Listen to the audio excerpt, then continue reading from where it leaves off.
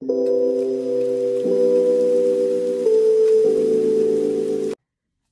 family, welcome or welcome back to my channel. I am Kerensa Amanda. Thank you so much for tuning in. If you are brand new to my channel, I love to do videos on all things lifestyle and personal finance. My favorite videos are cash stuffings. I love, love, love to save money, as well as doing tracking my expenses videos to see how much I'm spending and also budget with me's and lifestyle content. So, if those are topics that are interesting to you and you would love to engage with me, please be sure to subscribe and hit the notification bell so you can know when I upload new videos. So, today I'm going to be doing my savings challenges update. I want to share with you where I am as of right now. So, let's get into it. I hope you all are doing well and enjoying your day or your evening. So I am doing the $1 savings challenge and the $5 savings challenge, as well as a rollover challenge and Arison's Love $1,200 challenge for the year, as well as Pinkxbudgetz $4,000 challenge, and that is her Platinum Scratch Off challenge. And last but not least, I am doing the 100 envelope challenge where it is labeled 1 through 100 for the envelopes and you save a total of $5,050. So let's get into this counting. So, so far from my ones, I have 1, 2, 3, 4, 5, 6, 7, 8, 9, 10, 11, 12, 13, 14, 15, 16, 17, 18, 19, 20, 21, 22, 23, 24, 25, 26, 27, 28, 29, 30, $31. So I have a total of $31 saved for my $1 savings challenge. I think that is good considering we are just in the month of January. And this is from rollover money from my variable expenses budget. So next I'm going to move on to counting my $5 savings challenge. So I have 5, 10, 15, 20, 25, 30, 35, 40, 45, 50, 55, 60, $65 in my $5 savings challenge. I think the $1 savings challenge and the $5 savings challenges are great fun challenges to do, especially if you are just starting out in your savings challenges journey. I think it is a very simple way to save money without really having to think too hard about how you're going to do it.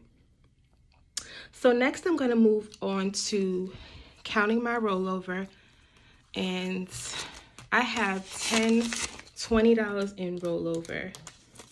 So I plan to actually put this in a savings challenge. I just don't know what. So I'm kind of like making rollover its own savings challenge for now. Until I like really figure out like what is it that I want to do with that money.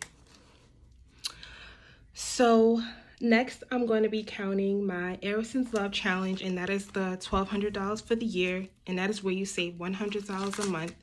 So, so far I have 20, 40, 60, 80, $100.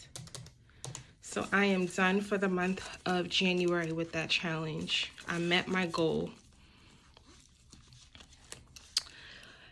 Next is the Pink's Budget Platinum Challenge. And this is the one I was telling you guys about where you save $4,000 for the year and you scratch off each gem. And for each gem that you scratch, the amount of money appears and then you save that amount of money. So, so far I have 50, 70, 90, 110, 130, 150, $170 is in Pink's Budget Challenge. And I think it is just a really fun way as well to save money. If you guys want, I can link it down below. Um, actually, I will link it down below. Why not? So next, I'm going to move on to showing you guys my 100 envelope challenge. So this is my 100 envelope challenge box that I made from an old Chloe perfume box that I had. And these envelopes represent all of the funds that are saved and then these envelopes are the envelopes that I need to stuff and then I will be done with the challenge. Once I am done with this challenge, I will have saved $5,050. So I will be cash stuffing numbers 98 and 99 in my next savings challenge video. And then these are also the remaining envelopes that are left. So I want to tell you guys where I am with that. I'm really excited because I will be doing a cash envelope unstuffing of just my 100 envelope challenge when I am done.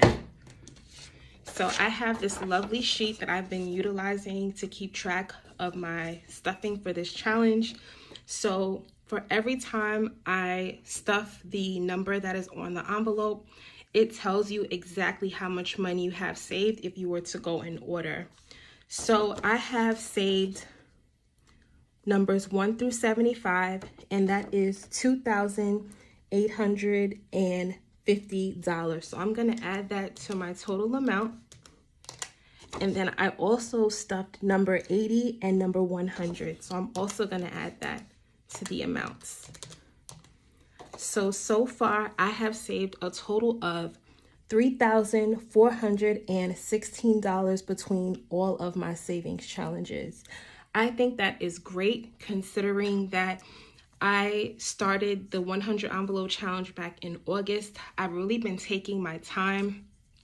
I haven't really been rushing. I've more so been prioritizing what's important to me. And for me right now, that is paying down my debt, of course, as well as having my $1,000 starter emergency fund in place. And also, of course, saving my money in general being more mindful of how I'm spending my money, tracking my expenses. Because once you do all those things, once you figure out where your money is going, it gives you the opportunity to say, what is it that I can change to keep more of my money working for me? So I feel like if you can spend your money, there's no reason why you cannot save your money. There's no reason why you cannot invest your money into things that are important to you and that will work for you. Thank you all so much for tuning in. Please comment down below.